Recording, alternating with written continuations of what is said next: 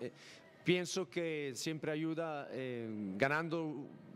todos los procesos se aceleran, sobre todo la confianza, y eso lo vamos a,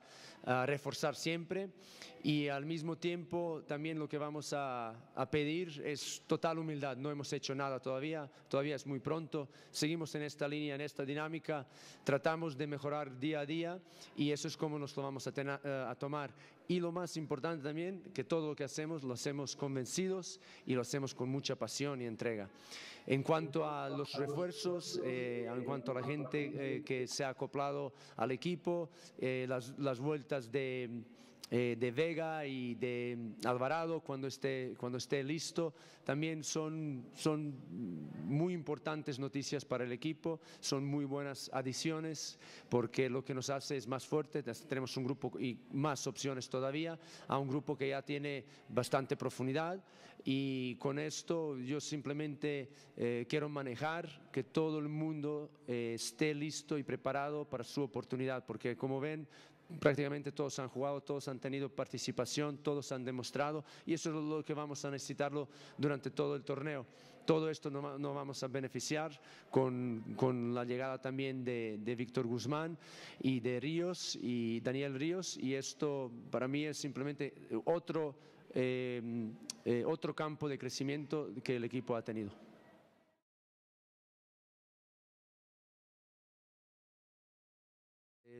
Lo que puedo decir es que este equipo trabaja desde dentro, un mensaje desde dentro, ¿no? desde el vestuario. Este equipo desde el primer día me ha demostrado compromiso, me ha demostrado capacidad de esfuerzo y trabajo, convencimiento. Y, todo es, nos ha costado mucho trabajar estos días porque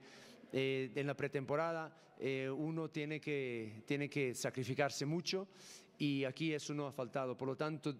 con, este mensaje lo que quiero decir es, para nosotros es muy importante eh, ilusionar a nuestra afición y sabemos muy bien que nosotros somos los primeros que tenemos que mejorar y para que la afición se em, entusiasme, nosotros tenemos que darle la razón para eso y en eso estamos, en ese proceso, y me alegro de que, de que las cosas en, este eh, poco tiempo que llevamos juntos eh, están yendo en, buena dirección, pero no pararemos, como dije, no voy a dejar a nadie que se relaje, que nadie se piense que hemos hecho algo, simplemente es un inicio, estamos construyendo y forjando una, una muy buena base y muy buenos fundamentos para que esto siga creciendo en la dirección que ya, ya hemos encaminado y, desde luego que el apoyo de la afición para nosotros es muy importante, siempre nos viene muy bien para forjar nuestra confianza porque mm, todo el mundo tiene que saber, el fútbol se juega con la confianza, es un estado de ánimo muy importante, es un aliciente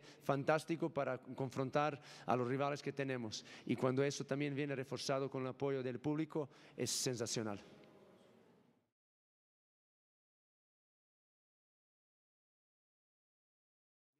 Hay un, hay un tema administrativo que